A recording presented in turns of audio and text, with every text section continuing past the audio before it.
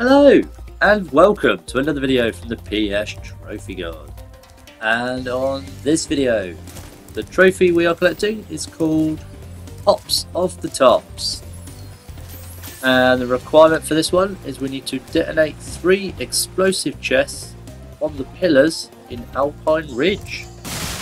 And the Alpine Ridge is found in the Magic Crafters world.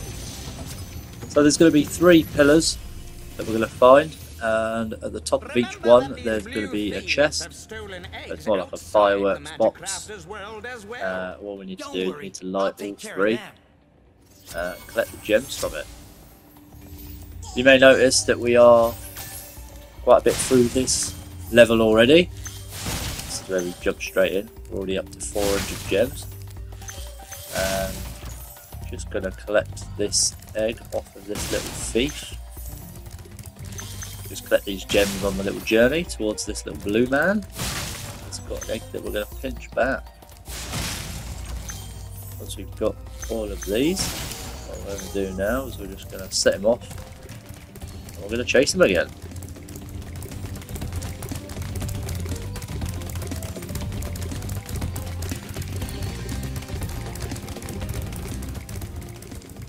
Just trying to get him near the end. Oh, that's not worked out too well. So let's try this again.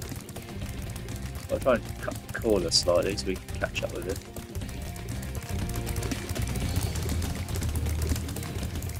Let's try and get him down here. There we go. Perfect. When he drops off that little ledge, he does slow down a little bit, so that's our timing for that one. So now we've got the egg and we've got all them gems. Let's go and head towards collecting this trophy.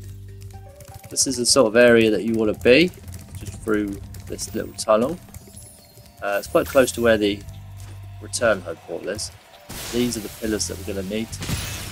So when you flame one of them, you just need to make sure you get off of that pillar. As you've noticed, it blows up and it actually pushes you off of it. Let's do this again what we're going to do is we're going to set it off, jump to the next one, set that one off, go back and collect that gem. And then we can head back to the second one, collect the third. Hopefully when this detonates, there you have it. That is our Pops of the Tops trophy. Detonate all three on the pillars. Well, I hope you've enjoyed the video. Thanks for watching, and I will see you at the next one.